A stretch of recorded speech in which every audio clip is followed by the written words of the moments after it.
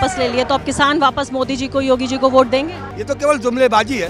पंद्रह लाख किसानों के खाते में आया पाँच लाख नौकरी मिली।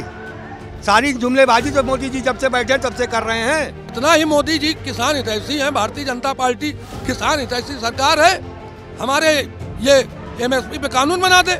आज हमारे देश ये जो मोदी जी फ्री राशन बांट कहाँ से ला रहे हैं? गूगल से लोड कर रहे हैं। मोदी जी या योगी जी ट्विटर पे चल रहा है कि मोदी जी के साथ हैं किसान अब आ गए किसान। ऐसा कुछ नहीं है ट्विटर पे चलाने वाले फर्जी चला रहे हैं। तमाम इनके गोदी मीडिया भी तमाम फर्जी न्यूज़ दे रही है इस पर हम कोई विश्वास नहीं करते। जिस दिन वोट पड़ेंगे उस दिन किसान की चोट भारतीय जनता पार्टी को बहुत महँगी पड़ेगी।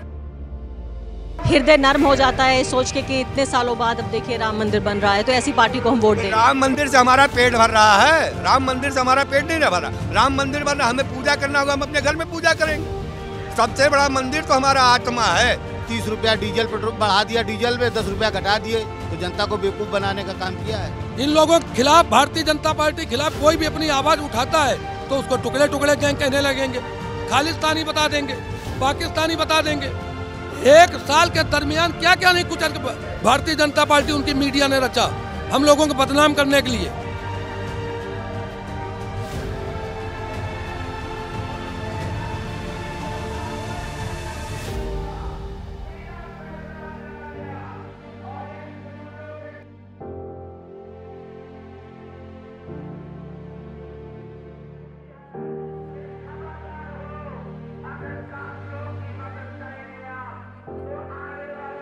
नमस्कार द वायर में आपका स्वागत है। मैं हूँ आरफा खानम शेरवानी। इको गार्डन से लगातार आपको हम लाइव अपडेट्स दे रहे हैं। यहाँ पर हज़ारों की तादाद में किसान जमा हुए हैं और ख़ासकर एक साल के लंबे चले संघर्ष के बाद जिसमें 700 से ज़्यादा किसानों की जानें गई। किसान कहते हैं कि वो शहीद हो गए।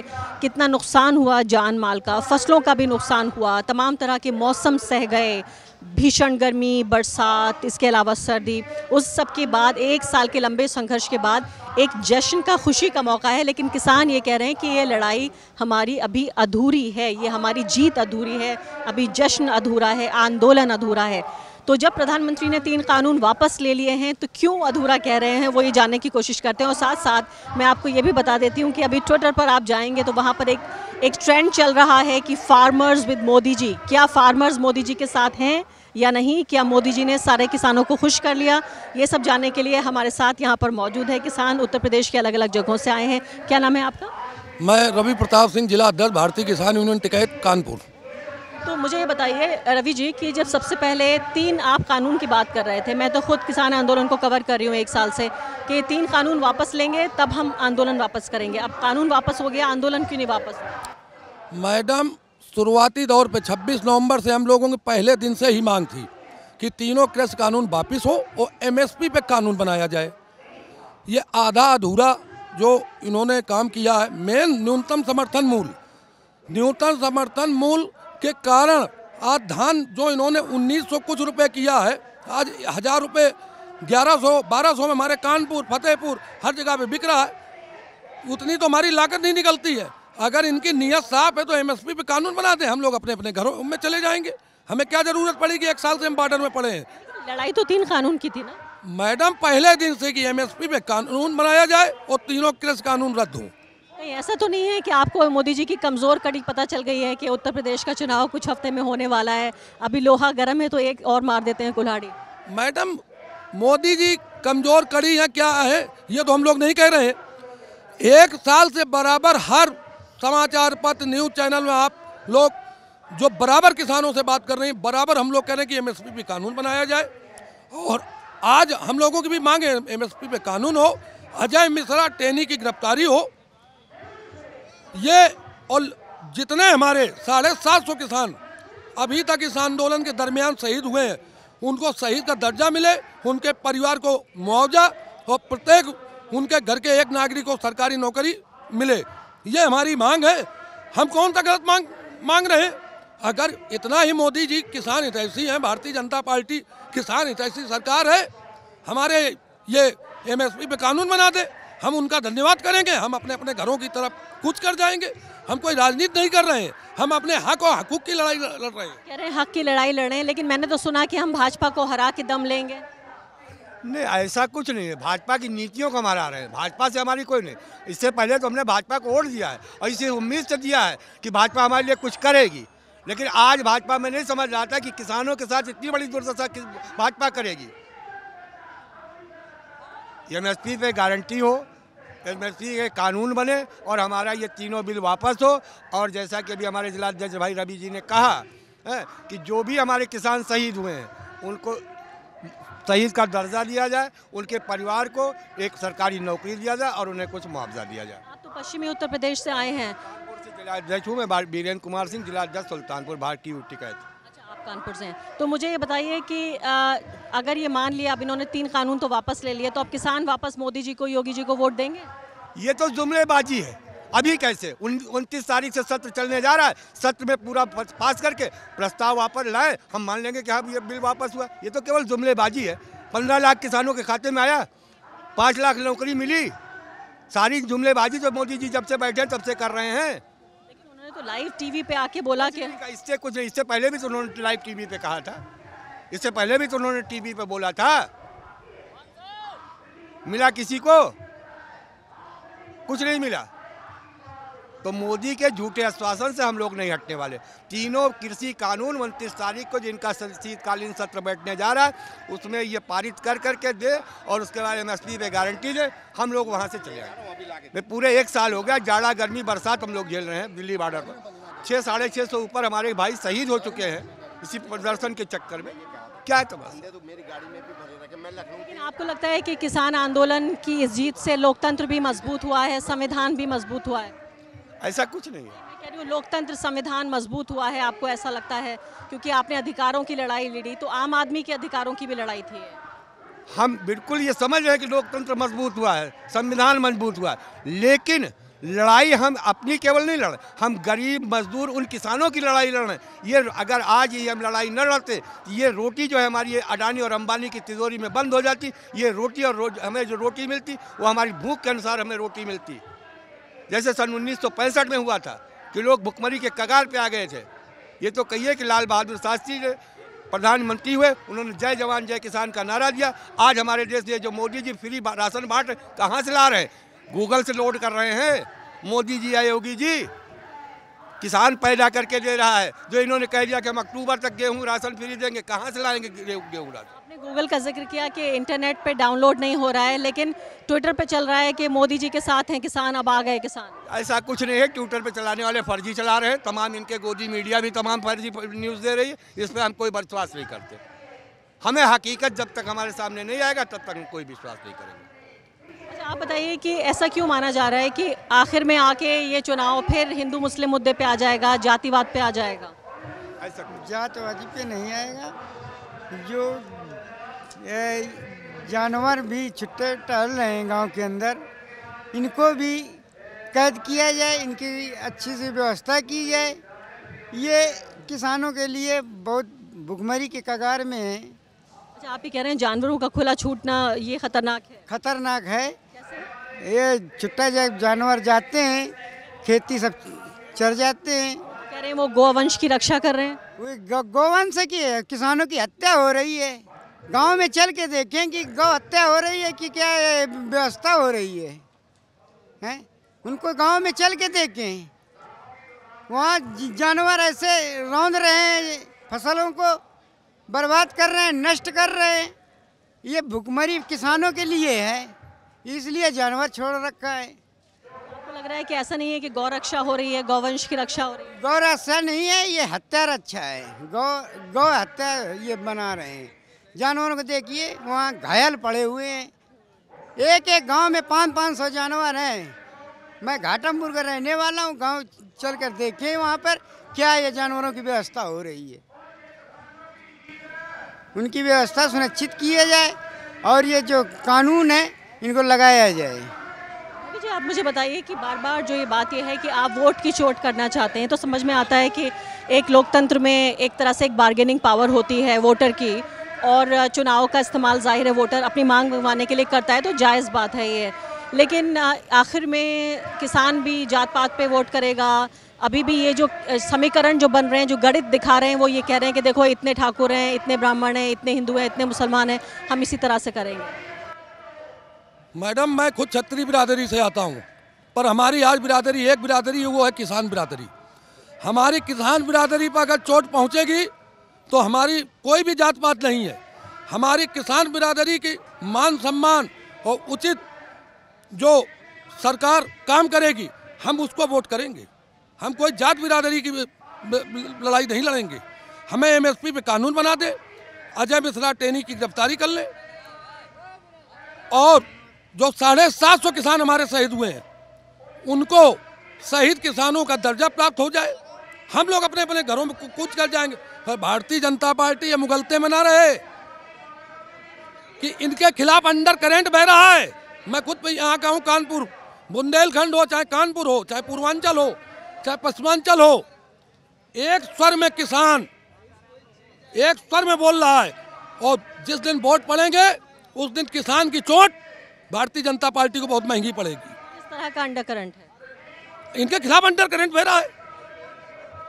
लेकिन आप सोचिए आप तो ऐसे स्टेट में बैठे हैं जहाँ मंदिर बन रहा है तो मंदिर के लिए वोट नहीं पड़ेगा क्या? नहीं नहीं तो एक बात बताइए मैडम काट की हंडी बार बार नहीं चढ़ती है। इन्होंने पाँच साल में हिंदू मुसलमान भारत पाकिस्तान सब समझ गए प्रदेश की जनता।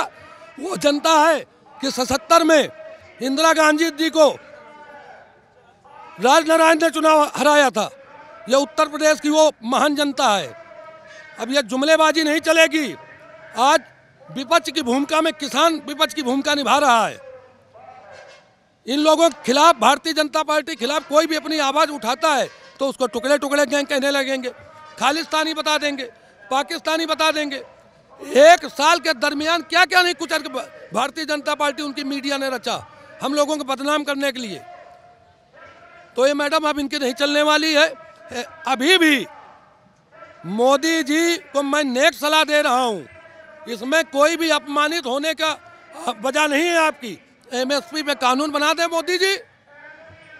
तो हम आपका धन्यवाद, पूरे प्रदेश और पूरे देश का किसान धन्यवाद करेगा। अच्छा आप मुझे बताइए, आपने तो बहुत दुनिया देखी, बहुत आप तजुर्बेकार हैं, अनुभवी हैं। कि क्या किसान आंदोलन लोगों को साथ लाने में कामयाब हुआ है? क्या एक बड़ा किसान जो अब तक ये माना जा रहा था कि कोई बहुत बड़ा वोट बैंक नहीं है, किसान की अपनी एकजुट होकर कोई ताकत नहीं है? क्या इतने सालों बाद किसान की एक एक कंस्टिट्यूंसी के तौर पर, एक वोट बैंक के तौर पर उसकी ताकत उभर कर आई है क्या? बिल्कुल 101 परसेंट, एक सौ एक परसेंट किसान की ताकत उभर करके आई क्यों इसलिए कि किसान के साथ सब जुड़े हुए हैं। किसान में जातिवाद नहीं है, क्योंकि आपने देखा होगा कि हम लोग अभी मुजफ्फरनगर में, हमारी पंचायत थी, अगर आप वहाँ गए होंगे, वहाँ पे मंच, तमाम उस पर भी टीका टिप्पणी हुई। टिकैत साहब हमारे हर हर महादेव, और ये बहुत आज नहीं, जब हमारे स्वर्गीय महात्मा महेंद्र सिंह टिकैत ज़िंदा थे तभी उन्होंने नारा निकाला था।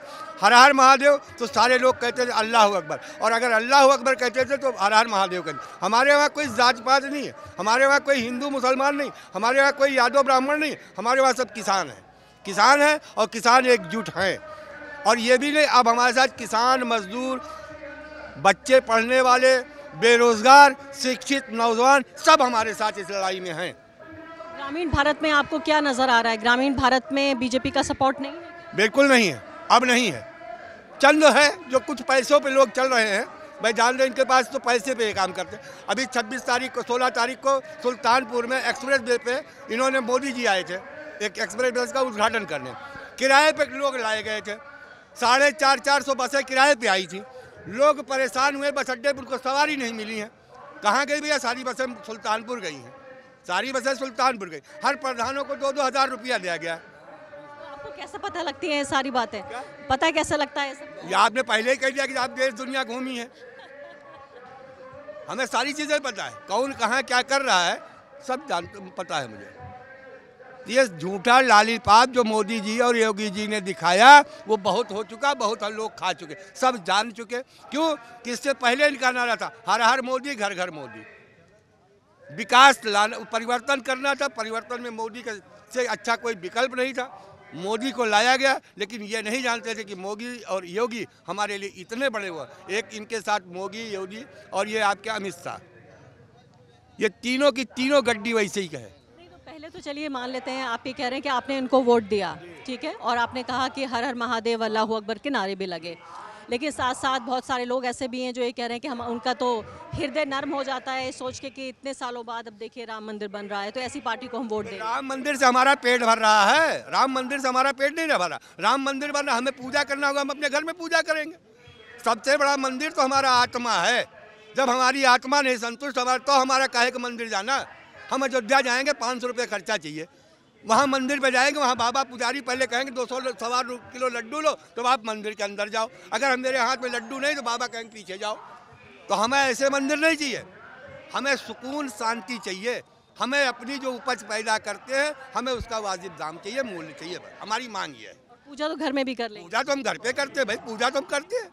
हमें कोई ज़रूरी के मंदिर पे जाए? क्या ज़रूरत है मंदिर पे जाने की?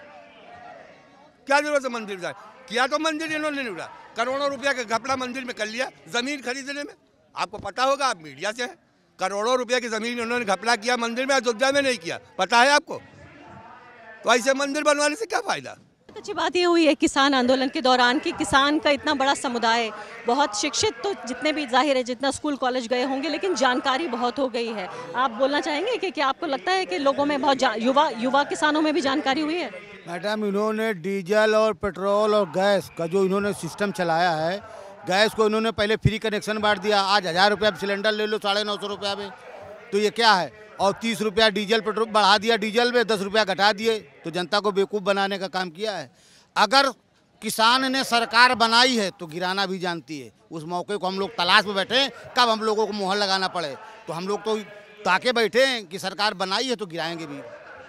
इससे तो बाकी पार्टियाँ भी सचेत हो जाएँगी। बाकी पार्टियाँ भी सचेत बिल्कुल, सबक सीख मिलेगा उसके। इसीलिए अब उन्हें भय मालूम हो रहा है कि नहीं, अब आज सामने चुनाव खड़ा है तो शायद हम इन्हें कुछ दे दें तो हो जाए भला।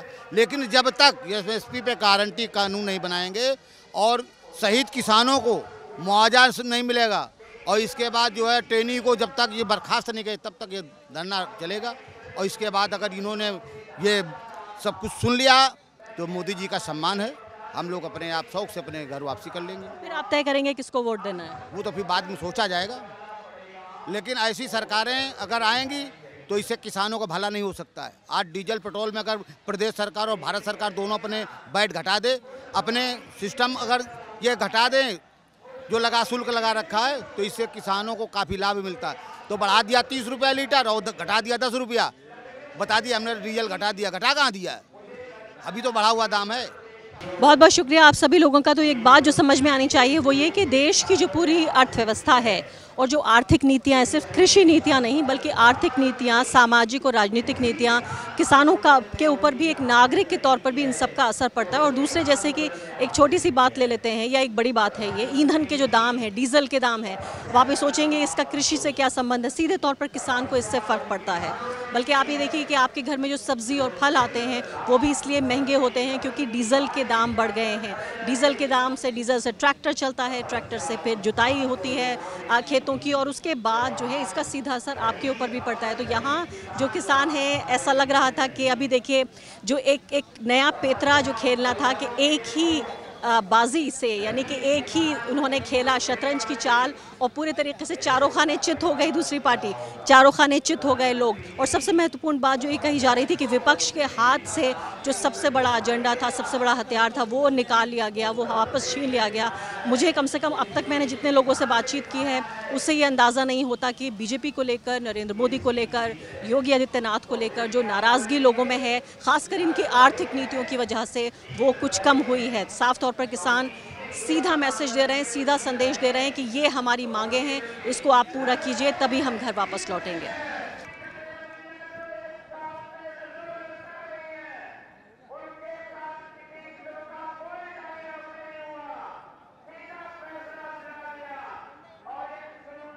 द वायर के और वीडियोस देखने के लिए सब्सक्राइब करें और बेल आइकन पर क्लिक करें।